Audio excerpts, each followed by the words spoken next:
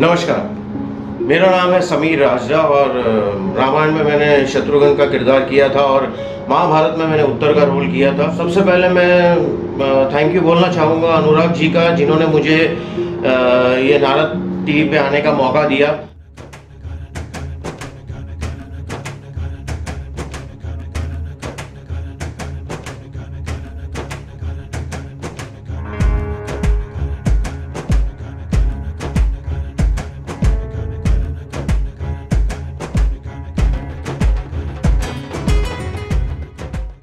रामायण एक ऐसी महागाथा जिसमें मानवीय संबंधों की गरिमा का सर्वाधिक परिचय मिलता है। राम, लक्ष्मण, भरत, शत्रुघ्न, ये चारों तो साक्षात मर्यादा और संबंधों का मूर्त रूप हैं। और शत्रुघ्न में तो संबंधों की मर्यादा ऐसी है कि हर छोटा भाई इस विषय में उनसे शिक्षा ग्रहण कर सकता है। जैसे लक्ष्मण श्री राम के अनुगामी है, उसी प्रकार शत्रुघ्न भरत जी के अनुगामी है। लक्ष्मण जी तो यदा कदा आवेश में आकर राम जी की बात काट भी देते थे, लेकिन शत्रुघ्न भरत की आज्ञाओं का एक एक शब्द बिना किसी प्रतिकार के मान लेते थे। शत्रुघ्न के इसी भाव को लेकर तुलसीदास जी ने लिखा है, रिपुसूदन पद कमल नमामि, सूर सुशील भरत अनुगामी। भरत के निर्देशों का पालन करते हुए इन्होंने अकेले ही अयोध्या का कामकाज संभाला था और उस पर भी ये राशि चमक दमक में निस्वार्थ भाव से भरत जी के अनुसार कार्य करते रहे। रामायण की ये कहानी जब टीवी पर आई तो शत्रुघ्न के इसी भाव, इसी छवि को साकार किया समीर राजदा जी ने। यूँ तो समीर जी ने कई गुजराती हिंदी मराठी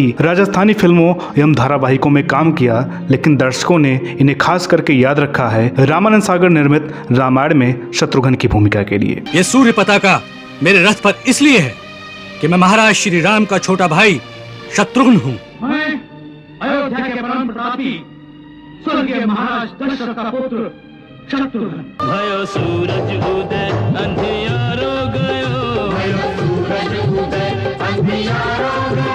अन्यायी असुर बरी मारो गयो। अन्यायी असुर बरी मारो गयो जाओ शत्रुघ्न। क्षत्रिय कभी स्त्री पर हाथ नहीं उठाते। मुझे छोड़ दो भैया। आप नहीं जानते यही इस अनर्थ की जड़ है। सेना नायक अब यहाँ से सेना को बड़ी सावधानी से आगे बढ़ना चाहिए। यह आवश्यक है कि लवणासुर को इस बात की सूचना नहीं होनी चाहिए कि अयोध्या की सेना पश्चिम की ओर बढ़ रही है। देखो कंटक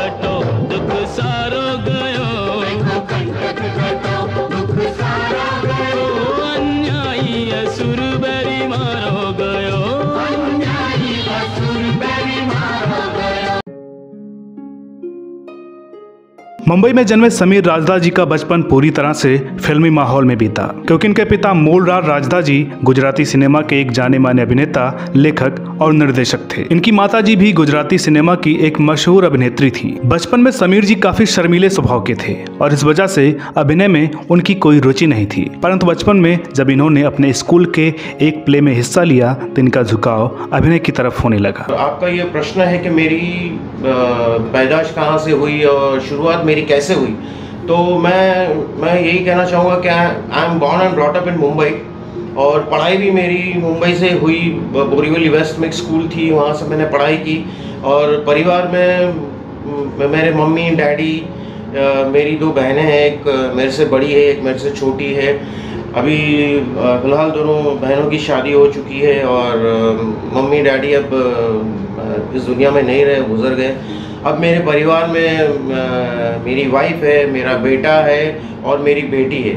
तो अभी हम लोग चार लोग हैं और जैसे कि अभी आपने ये सवाल पूछा है कि एक्टिंग में रुचि कहाँ से हुई?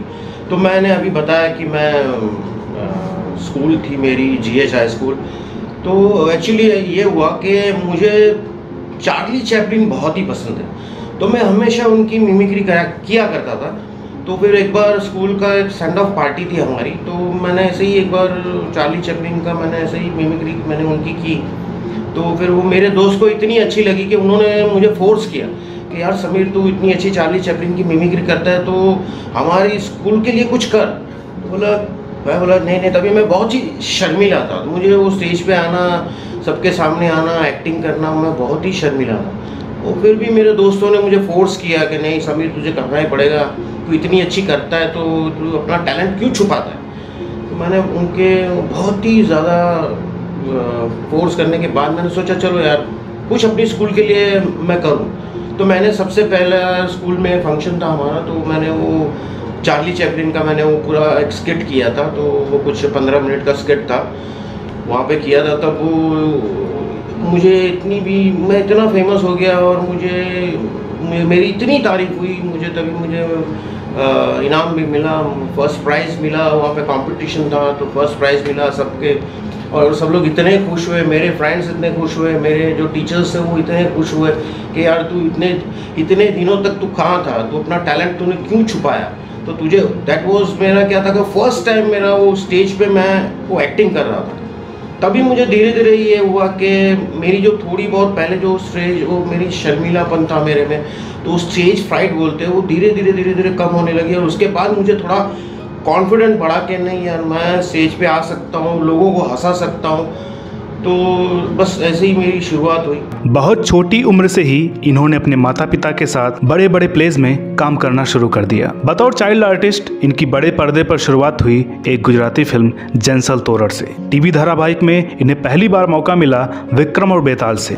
जैसे कि मैंने बताया कि मैं अभी बताया मैंने आपको कि मैंने सबसे पहले मैं स्टेज पर आया था वो चार्ली चैपलिन का जो किया था स्किट किया था तभी आया था। मुझे ऐसा धीरे धीरे जैसे मैंने बताया कि मुझे इंटरेस्ट मेरा डेवलप होने लगा। और तभी क्या था, मेरे मम्मी, डैडी भी एक्टर एक्ट्रेस थी और डैडी ने कुछ ढाई सौ से, ढाई सौ से ऊपर गुजराती फ़िल्में लिखी है, उन्होंने डायरेक्ट की है। मम्मी ने भी 200 से ऊपर फ़िल्मों में काम किया है, अभिनय किया है। एंड दोनों का सपोर्ट तो मैं, मुझे था ही घर में। लेकिन मैंने अभी बताया कि मैं थोड़ा शर्मिला टाइप था तो एक बार ये हुआ कि उन ज़माने में डैडी एक कुछ प्ले बना रहे थे और उसका नाम था आंधी। और जब वो प्रोड्यूसर्स थे तो मुझे ऐसे ही बोला कि मैंने, मैं आऊँ रिहर्सल में, मैंने ऐसे ही बोला डैडी को। बोला हाँ हाँ तो आ, उसमें क्या हो गया? मैं ऐसा सोचा कि चलो देखते हैं रिहर्सल में होता क्या है। कभी मैंने स्टेज पे वैसे एक्टिंग की नहीं थी। और वो गुजराती प्ले था मेरा तो मैं एक बार डैडी मम्मी के साथ में चले गया। मैंने देखा कि वो लोग सब लोग एक्टिंग कर रहे हैं, वो रिहर्सल्स कर रहे हैं। फिर एक दो बार मैं गया, मुझे, मैंने हमेशा डैडी को बोला, डैडी, ये लोग तो क्या बार बार वो एक ही लाइन बोलते रहते हैं रिहर्सल्स करते रहते हैं? तो डैडी बोले कि रिहर्सल्स करेंगे तभी हम परफेक्ट होते हैं ना तो मेहनत तो करनी पड़ती है। तो मैंने बोला, ठीक है। तो फिर वो एक, वही प्ले में ऐसा एक कैरेक्टर था। वो तीन साल के लड़के का कैरेक्टर था तब। मेरी उम्र भी वो तीन साल की थी तभी। तो प्रोड्यूसर्स ने मेरे डैडी को पूछा कि, यार, तेरा बेटा ये रोल के लिए फिट है, वो करेगा? तो डैडी बोले कि, यार, उसी से पूछो, वो करेगा। तो मुझे बोला कि, करेगा? तो मैं बोला कि, नहीं, पहले तो मैंने मना किया, नहीं करूँगा, क्योंकि मैं, मैंने बताया ना कि मैं शर्मिला था, मुझे थोड़ा सा संकोच होता था कि मैं एक्टिंग सबके सामने कैसे करूँ, सब लोग देखते हैं, मुझे देखेंगे। तो फिर डैडी ने बोला, उसमें क्या हो गया? मैं है, मम्मी है तो हम लोग तुझे सपोर्ट करेंगे। तुझे, जहाँ भी प्रॉब्लम आएगा हम लोग तुझे, हम हैं ना सब लोग साथ में। तो फिर मैं, मैंने उनसे पूछा कि आप लोग सब लोग ये करते तो उसके तो पैसे मिलते होंगे ना। तो डैडी ने बोला हाँ डेफिनेटली हमें भी पैसे मिलते तो मैंने यही शर्त रखी कि तो फिर मुझे क्या मिलेगा? तो डैडी बोला, क्या चाहिए तुझे? सब लोग सोचने लगे कि ये अभी क्या मांगेगा? तो मैंने बोला, मुझे और कुछ नहीं चाहिए। तभी मुझे कॉमिक्स का बड़ा शौक था। मैं Richie Rich Archie Asterix Obelix वो सब कॉमिक्स फैंटम वो सब मैं बहुत पढ़ाई करता था। और कॉमिक्स मुझे बड़ी अच्छी लगती थी।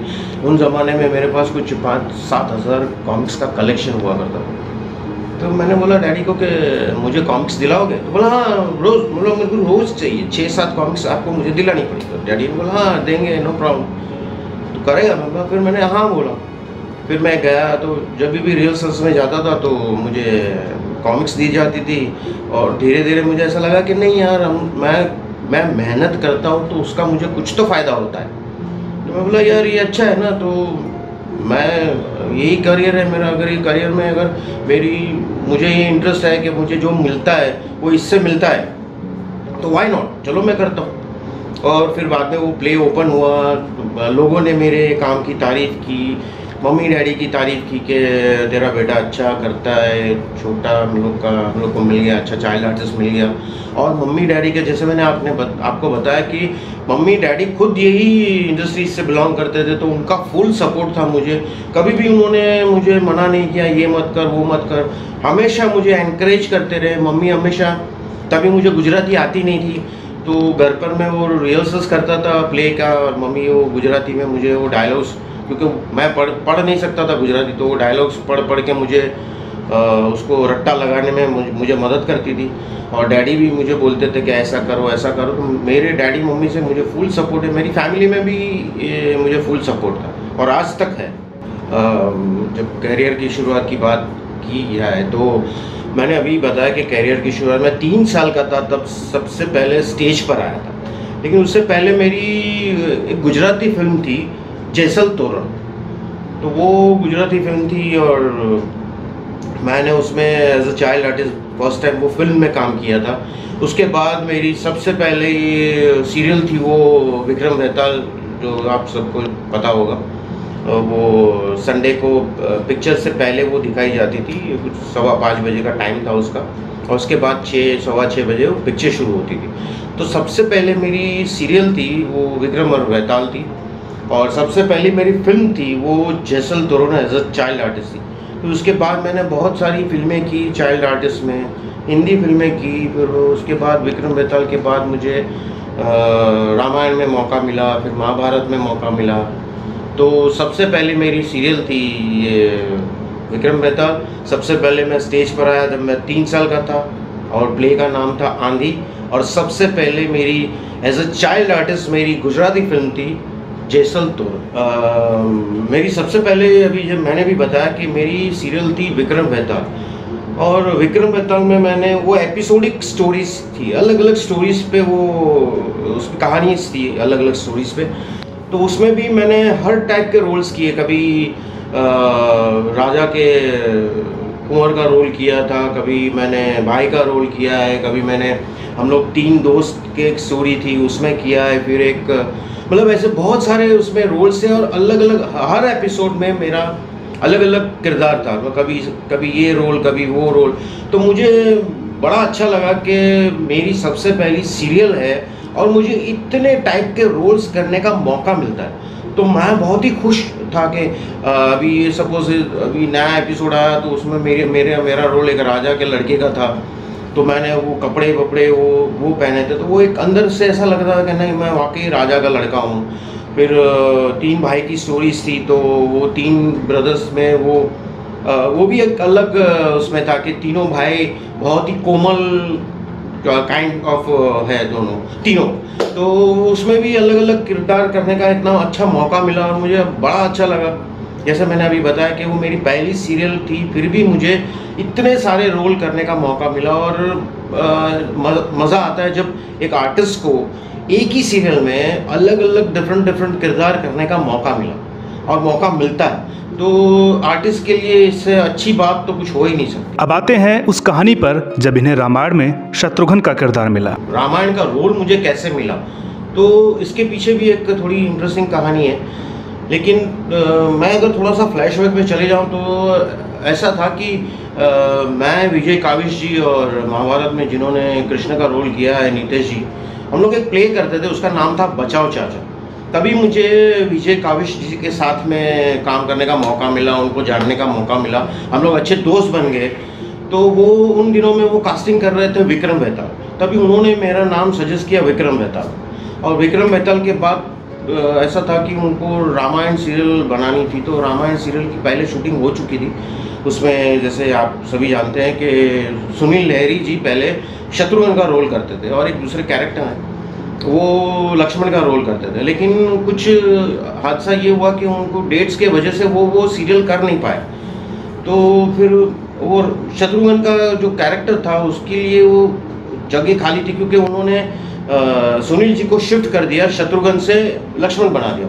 और वो कैरेक्टर के लिए वो जगह खाली थी।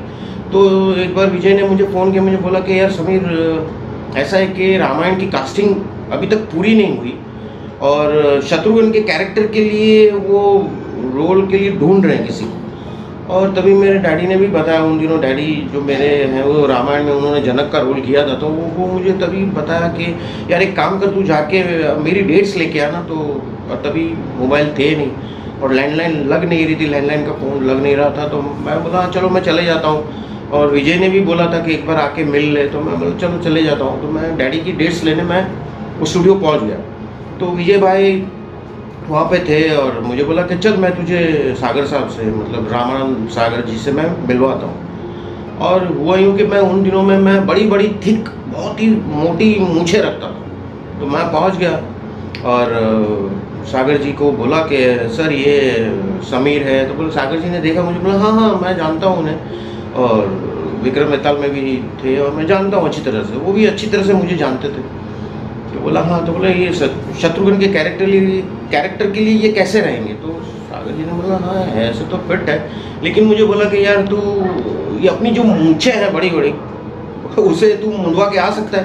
मैं बोला हाँ आ जाऊँगा। तो बोला, एक काम कर, तू कल आ जा मुंडवा के, फिर देखता हूँ मैं, सोचता हूँ। तो मैं दूसरे दिन पहुँच गया मूछें मुंडवा के और विजय भाई से मिला तो विजय भाई ने मुझे देख मुझे देखा और वो हंस पड़े, बोले तो कैसे लगता है यार बिना मूछों के? मुझे बोला कि काम कर सागर जी से मिल रहे हैं, वो तेरी राह देख रहे हैं। मैं यहाँ पे काम निप- निपटा के आता हूँ, तू अंदर जा। मैं अंदर चले गया। मैं गया तब वो सागर साहब वो कुछ काम कर रहे थे, टेबल पे और लिख रहे थे। तो मैंने ऐसे ही नॉक किया और कम इन गया अंदर। तो मैंने बोला कि, सर, मैं वो शत्रुघ्न के रोल के लिए आया हूँ। तो उन्होंने बराबर मुझे देखा नहीं है, ऐसे ही उसे देखा, फिर बोला कि नहीं नहीं, आप जाइए। हम लोग ने शत्रुघ्न के रोल के लिए किसी और को हम लोग ने चुन लिया है। और आप जाइए प्लीज़ मैं तो चले गया, बाहर निकल गया वहाँ से। तो विजय भाई ने बोला कि, क्या हुआ? बात हुई? हाँ बात हुई, लेकिन वो सागर साहब ने तो मुझे निकाल दिया ऑफ़िस से। बोला, क्यों? क्या, कैसा, क्या हुआ? तो बोले कि उन्होंने बोला कि, नहीं, हम लोग ने तो किसी और को ये रोल में फिट कर लिया है और आप जाइए। बोला, नहीं, ऐसा कैसे हो सकता है यार? तेरा नाम है लिस्ट में। और तेरे सामने, तेरे नाम के सामने शत्रुघ्न है, उसके सामने तेरा फ़ोन नंबर है। तो बोला, तू चल मेरे साथ। वापस वो मुझे लेके गए, फिर बोला कि, सर, यही समीर है। देखा, बोला तो यार, तू इतनी बड़ी बड़ी मूछें रखता है, अभी मूछें मुंडवा दिया, तू कैसा छोटा लगता है, इतना यंग लग रहा है। मूछें रखता क्यों है? बोला कि, नहीं नहीं, तू ही तू ही मेरा शत्रुघ्न है। फिर बोला कि सॉरी फिर वो बोले कि, मैंने तेरे को पहचाना नहीं और मैंने तुझे निकाल दिया। फिर हम लोग तीनों हंस पड़े। और उस हिसाब से मुझे ये शत्रुघ्न का रोल मिला। रामायण की सफलता के बाद इन्हें एक और एपिक शो महाभारत में काम करने का मौका मिला जिसमें इन्होंने निभाई उत्तर की भूमिका। जी जैसे कि सब जानते हैं कि मेरी सीरियल थी रामायण और वो यूँ कि रामायण का तो अभी किस्सा मैंने आपको बताया कि मुझे वो रामायण में रोल कैसे मिला। तो सबसे पहले मैं ये कहना चाहूँगा कि मैं बहुत लकी हूँ कि मुझे इतनी बड़ी बड़ी दो मेगा सीरियल है, उसमें काम करने का मौका मिला और इतने बड़े बड़े मेकर के साथ में काम करने का मौका मिला, जैसे कि रामायण में रामानंद सागर जी और महाभारत में बी आर चोपड़ा साहब और उनके साथ में काम करने का मौका मिला। तो अभी मैं, महाभारत का किस्सा ये है सेम ऐसे ही है कि महाभारत की लॉन्चिंग पार्टी थी तो डैडी ऑलरेडी उसमें कास्ट हो चुके थे। तो डैडी ने बोला कि तू चल मेरे साथ आ तो मैं लॉन्चिंग पार्टी में जाते हैं। तो मैं उनको, गाड़ी में हम लोग गए, ले गए उनको पार्टी में। पार्टी वार्टी शुरू हुई, ये सब। तो फिर रवि जी ने मुझे देखा और बोला कि, अरे यार, चाचे, तू महाभारत में करेगा काम?